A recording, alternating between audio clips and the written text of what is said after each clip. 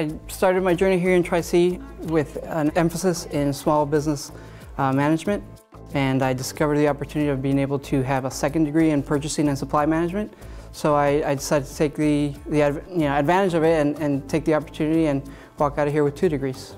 I have a bachelor's degree in manufacturing engineering technology and I felt that the purchasing and supply chain management degree would mesh well with the skills that I learned in my previous degree and also it would um, make me eligible for certain jobs in, in the supply chain field.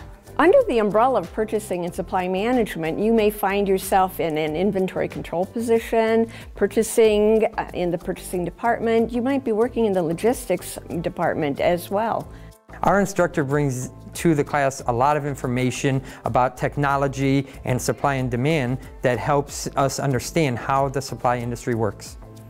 It's really great um, to have the opportunities that you have here at Tri-C because the, most of the instructors have um, real world experience. These are people who actually have, you know, run companies, you know, large and small, and they know what they're doing and they, they can tell you what really happens in the real world, which isn't always what happens in your textbook. When teaching purchasing and supply management, we use a very engaging process with the students. We'll put them into groups, they'll present articles, and they're part of the process during case studies.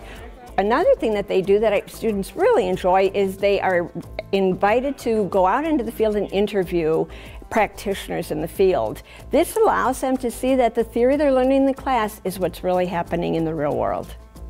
We did an interview project where we talked to someone who's working as a purchasing agent and just that project helped me learn a lot about what it actually will be like to work in purchasing.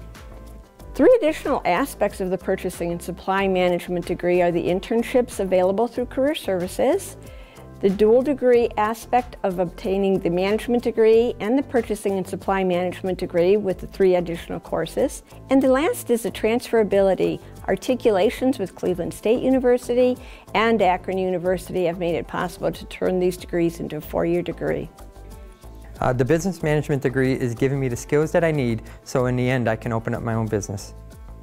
I'm really excited to start a career in purchasing and supply management and I really believe that this program has given me the skills to do that. The purchasing and supply management um, program has really exceeded my expectations and I recommend it to anyone who uh, would like to pursue this.